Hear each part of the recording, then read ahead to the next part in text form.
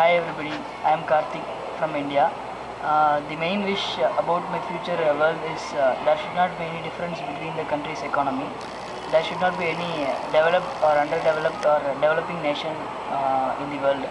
So that uh, there will be uh, peace all over the world. There will not be any warfare between them.